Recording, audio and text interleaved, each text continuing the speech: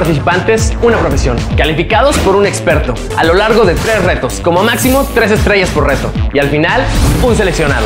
Esto es Interesados Presentarse. Hola, ¿qué tal? ¿Cómo están? Bienvenidos. Yo soy Axel y esto es Interesados Presentarse. Ya es momento de saber la calificación final de la carrera de robótica. Y para eso nos acompañan nuestros participantes. Chavos, ¿cómo están? Un aplauso para ustedes. y ahora un aplauso más fuerte para Emanuel Merchant, que nos está acompañando de nuevo. ¿Qué tal, chavos? ¿Cómo se sintieron en los retos? Ya más relajados. Una vez que ya sabes, ya estás ahí, ya sabes qué vas a hacer, ya es más fácil. Ya vi lo que en realidad es robótica, la parte culminante de la carrera de robótica, porque eso es de lo último. Una visión muy amplia de lo que yo llegaría a ver en lo último de la carrera. Realmente era muchísimo más fácil de lo que pues cualquiera de nosotros tres pensamos. No es tan complicado. Bueno, pues vamos a ver si es cierto.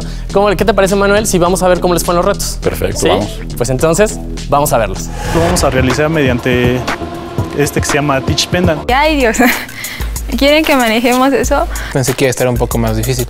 Me siento poderoso. Ustedes van a diseñar su rampa con tres distintas trayectorias. Dun, dun, dun. Es el bebé. Como un juego de ping-pong. Yo pido este. Ah, Que los robots eran bien traicioneros.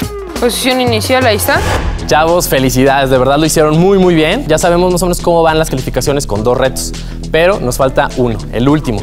Y para eso, pues Emanuel, qué mejor que nos puedas decir que los califiques y que les digas a cada uno cómo les fue. Puedo decirles que me sorprendieron gratamente los tres. Aquí, que era trabajo en equipo, no tuvimos ningún problema en donde de repente alguien se pisara el callo o el ego, como lo quieran ustedes ver.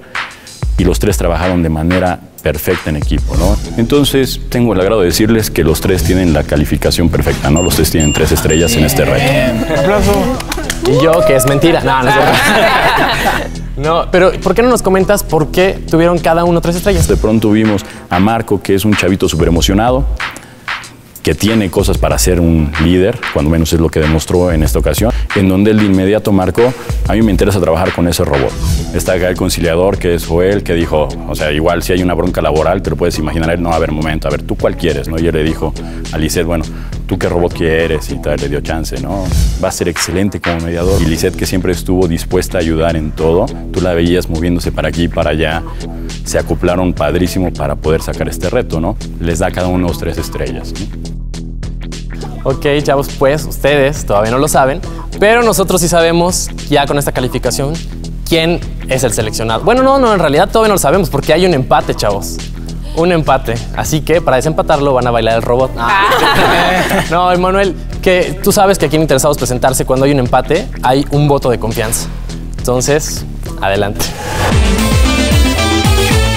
Bueno, el empate que tenemos nosotros es entre Lisette y Joel.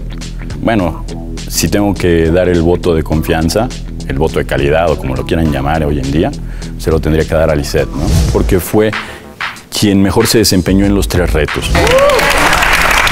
Ahora sí. ¿Qué tal, Lisette? ¿Cómo te sientes? Pues muy contenta. ¿Sí? Sí. ¿Pensaste que ibas a ser la, sele- la seleccionada? Pues cuando dijo que el empate dije, bueno, a lo mejor yo aquí me cuelo. Ay.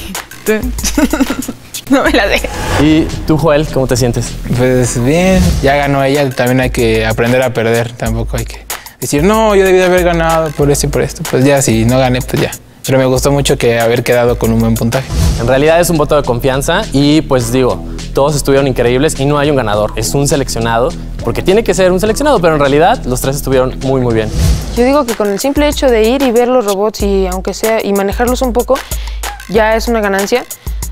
Este, me hubiera gustado ganar, pero ay, no siempre se puede. Vi lo que sí quería ver de la robótica y lo que no se ve en, un, en una exposición o en un comercial. Con el simple hecho de haber ido, ya me, siento- me doy por bien servido. Claro, ¿te gusta la carrera? Sí. ¿Les gustó la carrera? Sí, mucho ya. ¿Sí? Bueno, chavos, pues mucha suerte. De verdad les deseo que les vaya muy bien en esta carrera que ustedes van a emprender. Y pues, Emanuel, gracias por orientarlos. De verdad aprendieron muchísimo. Yo aprendí muchísimo y sobre todo, este, pues el tiempo que les tuviste y la paciencia de todos los chavos que nos ayudaron ahí en el laboratorio. Sí, muchas gracias también a ellos que nos ayudaron fuertísimo, ¿no? Entonces, no hay ningún problema cuando quieran darse una vuelta por el laboratorio. Cerramos las puertas. No, son bienvenidos. Emanuel, ¿algo a que quieras por último comentar? ¿Qué cualidad debe tener alguien que quiere dedicarse a la robótica? Esencialmente creatividad, ganas de conocimiento y no tener miedo a los retos. Qué padre que ustedes tuvieron la oportunidad de poder trabajar con robots industriales. Muchos chavitos que les gusta la robótica ni se imaginan, ¿no? De hecho, los chavos que ustedes vieron, que ustedes, que les ayudaron a ustedes, que son de noveno semestre, ellos tuvieron que esperarse un rato enorme para poder manejar estos equipos. Entonces, qué padre que ustedes tuvieran esa oportunidad, ¿no? Como le decía Marco en un par de ocasiones.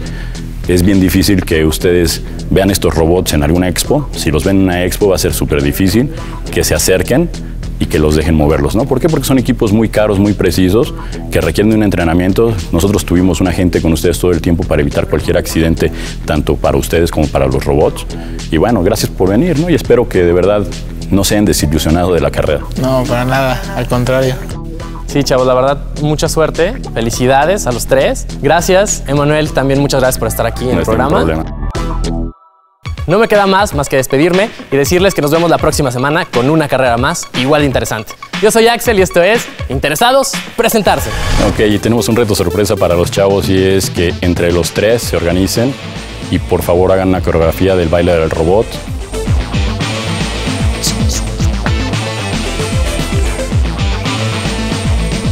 呵 呵